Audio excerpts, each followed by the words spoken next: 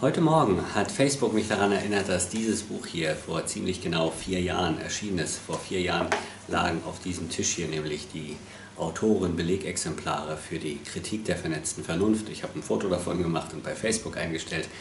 Und deshalb weiß ich heute, dass es ziemlich genau vier Jahre her ist, dass es dieses Buch in gedruckter Form gibt. Und das hat mich auf die Idee gebracht, endlich mit einem kleinen Projekt anzufangen, äh, was ich mir schon lange vorgenommen habe, nämlich verschiedene Gedanken dieses Buchs ähm, mal in Videoform vorzuführen. Ich werde nicht das gesamte Buch vorstellen im Laufe der Zeit, das soll ja schließlich gelesen werden, man kann sich das ja immer noch kaufen, es ist immer noch bei den einschlägigen Internetbuchhändlern und auch natürlich in den lokalen Buchhandlungen, meistens per Bestellung, verfügbar. Und deshalb will ich eigentlich nur anregen, da mal reinzuschauen, denn auch wenn es vier Jahre alt ist und auch wenn der Titel Kritik der vernetzten Vernunft ein bisschen so klingt, als ob der sich nur auf die aktuellen Trends bezieht, ist das Buch an sich immer noch aktuell. Ich würde sicherlich heute einiges anders schreiben und ich glaube auch, dass im Laufe dieser Vorstellung äh, von verschiedenen Ideen aus der Kritik der vernetzten Vernunft ich vielleicht hier und da auch ein paar kritische Bemerkungen zu dieser Kritik machen werde, weil einige Gedanken sich natürlich weiterentwickelt haben. Ähm, aber wie das immer mit der Philosophie ist, soll ja eine Lektüre eines philosophischen Werks zum Selbstphilosophieren anregen.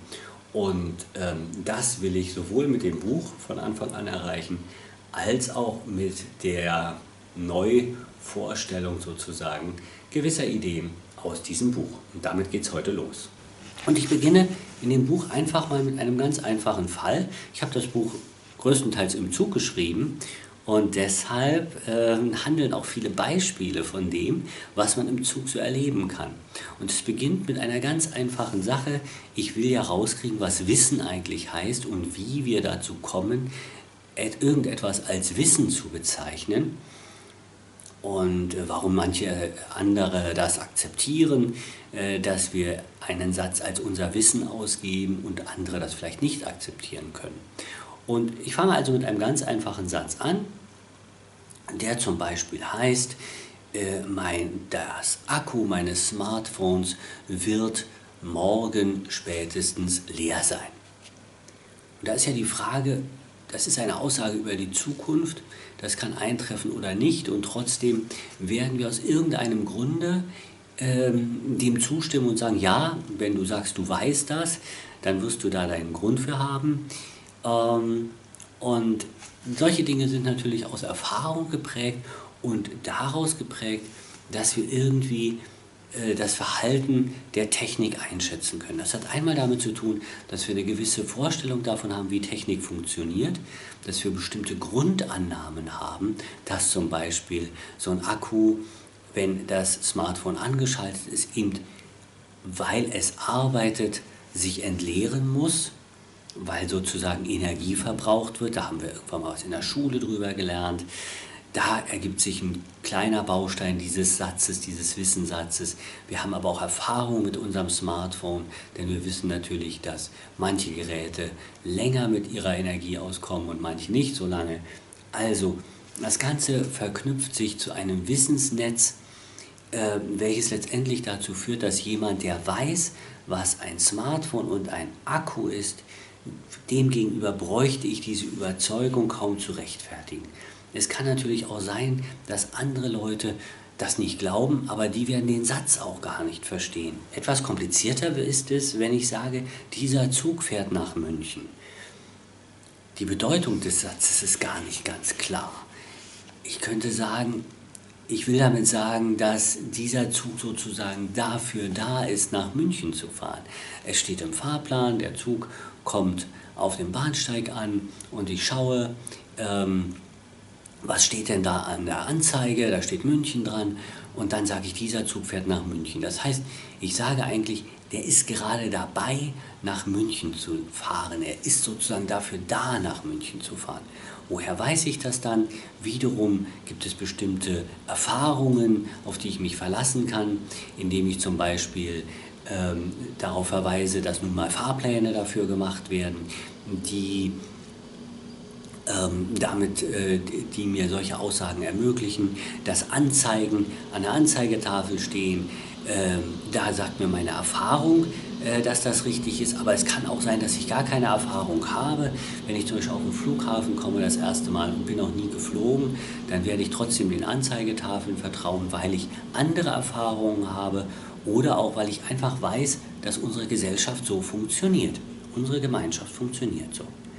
Der Satz, dieser Zug fährt nach München, kann natürlich tatsächlich auch eine Prognose sein. Das heißt, ich kann überzeugt sein, dass die Technik auch funktionieren wird, dass der da auch ankommen wird. Damit ist es natürlich schon wieder schwieriger, weil wir wissen, manchmal bleiben Züge auf der Strecke einfach liegen, fahren nicht weiter, kommen verspätet an, werden aus dem Verkehr gezogen, weil sie zu viel Verspätung haben. Das heißt also, in diesem Sinne wäre dann der Satz gar keine Aussage über mein Wissen, sondern eine Vermutung über das, was wohl in der Zukunft geschehen wird. Das Spannende ist, wenn ich Aussagen mache über Dinge, die gerade passieren, dann sage ich das häufig darüber, dass ich darüber was sage, was das Ziel, der Zweck der ganzen Sache ist. Dieser Zug soll nach München fahren, müsste ich eigentlich genauer genommen sagen. Das würde aber für die meisten wiederum neue Verwirrungen mit sich bringen, weil man sagt, wer, wer schreibt das denn vor? Das ist ja sowas wie so eine normative Geschichte, als ob ich dem Zug sagen könnte, wo er hinfahren soll. Also, ich sage, der Zug ist dafür da. Er hat den Zweck, nach München zu fahren. Das ist dann eine Wissensaussage, die sich eben aus meinen gesellschaftlichen Erfahrungen ergibt, die sich aus den Informationen ergibt, die ich gerade aus meiner Umwelt entnehme. Dieser Zug wird auch in München ankommen. Er fährt nach München als Aussage über das, was in Zukunft passieren wird. Da ist es schon schwieriger. Auch da werden die meisten sagen, hm, das funktioniert halbwegs. Aber wer weiß schon, ob der Zug wirklich jemals in München ankommt. Oder ob du vielleicht umsteigen musst, weil der Zug inzwischen kaputt geht. Das passiert ja auch immer mal wieder.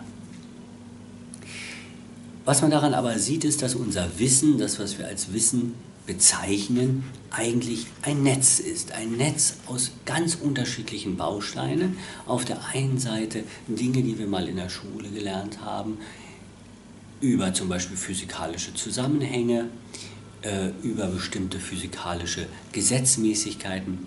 Auf der anderen Seite Dinge, die sich irgendwie auf ganz merkwürdige Weise aus unserer Erfahrung ergeben, die wir insgesamt in der Gesellschaft gemacht haben. Da bildet sich sozusagen in meinem Geist ein gewisses Fundament von Erfahrungen, aus denen ich plötzlich ganz neue Aussagen generieren kann. Zum Beispiel, wenn man mir erklärt, das sind Züge und ich bin noch nie mit dem Zug gefahren, aber aus anderen Erfahrungen, aus anderen, aus zum Beispiel Erfahrungen mit Bussen, mit Flugzeugen und Ähnlichem, weiß ich, wenn es da einen gewissen Fahrplan gibt, wenn es eine gewisse Planung gibt, wenn da eine Behörde oder ein Unternehmen für zuständig ist, das dafür sorgt, dass bestimmte Dinge passieren, dann kann ich das auch übertragen auf völlig andere äh, Fälle. Und meine aktuellen Wahrnehmungen, da steht dran, München, 19.25 Uhr. Da sind andere Leute, die kann ich fragen, die sagen, der Zug fährt nach München. Da ist der konkrete Fahrplan, auf dem das dran steht. Da kommt der Zugbegleiter raus und sagt, ja, das ist der Zug nach München. Das sind ganz konkrete Wahrnehmungen und aus so einem Netzwerk von Überzeugungen und Wahrnehmungen generiert sich mein Wissen. Damit geht es los in diesem Buch. Ich hoffe, es hat vielleicht auch ein bisschen neugierig gemacht. Wie gesagt, kann man immer noch kaufen. Man kann aber auch auf die nächste Folge warten, in der ich wieder ein bisschen was über das Buch erzähle. Passieren ganz spannende Sachen. Zum Beispiel gibt es einen Abschnitt über das Begreifen, das Greifen nach der Wirklichkeit. Ich unterscheide Wildnis, Natur, Kultur und Künstlichkeit. Ich unterscheide Welt, Wirklichkeit und Realität, all solche Dinge, auch ein bisschen das Nachspüren nach Begriffen, was steckt da eigentlich drin, warum macht es Sinn, sowas zu unterscheiden. Um all diese Dinge geht es in diesem Buch. Und ich würde mich freuen, wenn der eine oder andere sich angeregt fühlt, darin mal zu lesen. Ich würde mich auch freuen, wenn man sich dazu angeregt fühlt, meinem Kanal weiter zu folgen und sich darauf zu freuen, dass es mal wieder um was Neues aus diesem Buch geht. Bis dahin.